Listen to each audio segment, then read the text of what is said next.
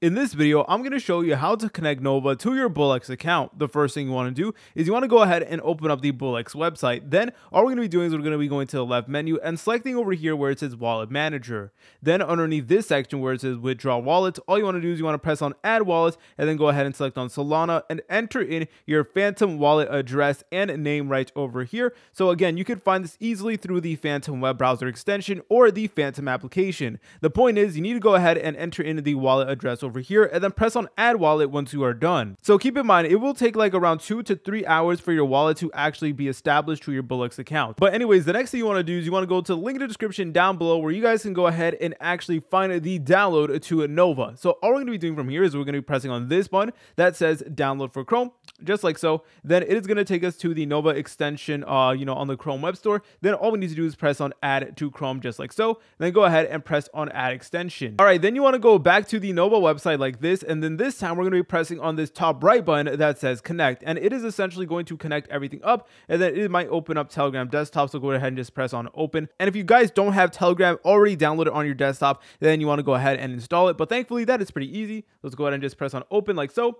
And then all you want to do is you want to press on this link that says launch Nova Click. Then go ahead and press on open. And there you go. We have now connected to Nova Click. So all you want to do is you want to go ahead and press on got it. Then on the extension manager right here, you want to go ahead and make sure that Nova extension is actually turned on. Make sure that you do pin it. And Nova will essentially allow you to buy cryptocurrencies at a much faster rate and will make your trading experience far more smoother. However, we are not done yet. We need to go ahead and configure some settings within the Telegram itself. Alright guys, so let's go back to the Nova channel and I'm going to go ahead and select on menu like so, then I'm going to go ahead and press slash menu just like so, and then it is going to open up this menu. So what we need to do is we need to actually connect our Bullx wallet uh, to a Nova. So the way we're going to be doing this is we're going to go ahead and select on this option that says wallet then we're going to go ahead and select on import wallet. And then you need to go ahead and put the private key of your Bullx account. So for privacy reasons, I'm actually not going to like show you guys my private key, but you just want to go ahead and enter in your Bullx private key over here. And then you want to go ahead and press on this button that says change default wallet.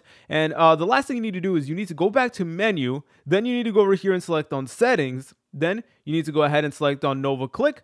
Then you need to make sure that user panel settings is actually turned on, uh, like the circle is actually green. Uh, I already did turn it on, but if it's your first time using it, then this might be like a red circle. So you just want to go ahead and click it so it turns green. And just like that, you have now connected Nova to your Bullx account. If you guys found this video helpful, make sure to leave a like and subscribe. I will see you in the next tutorial.